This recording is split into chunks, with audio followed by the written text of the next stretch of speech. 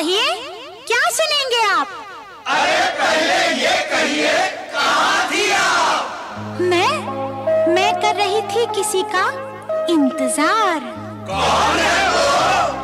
वो जिससे मैं करती हूँ प्यार। और जिससे करती हूँ मिन्नतें बार बार।